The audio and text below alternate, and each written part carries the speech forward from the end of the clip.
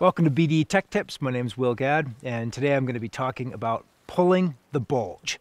Everybody thinks it's the steep ice that's hard, but it's actually the transition between the super steep ice and the flat ice where people tend to fall off.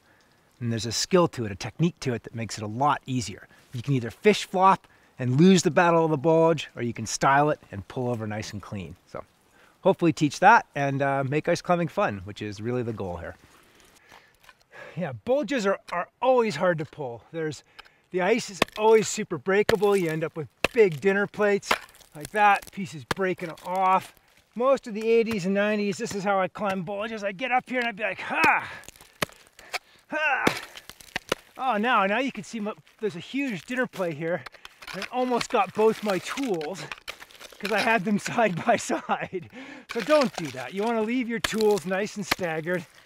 Yeah, that's a classic nice Plus you're trying to swing over like that, which is hard. So a few things to help you survive the bulge in style. First, get an ice screw right below it. That's really important. I think if I fall off ice climbing, it's likely to be on a bulge. These things are tricky.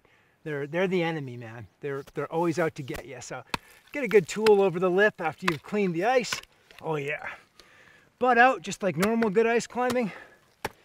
Get another good tool that's solid. Yeah, that's good now. Look down at your feet. Keep walking them up. Here's where it can all go bad. If you pull in now and then reach really far, now you can't actually kick. Your feet are coming off the ice. So this is where you actually have to do what's counterintuitive. Stick your butt out, bring your feet up, now you can stand up, you can still see your feet, then drive the next tool. And you're nice and in control.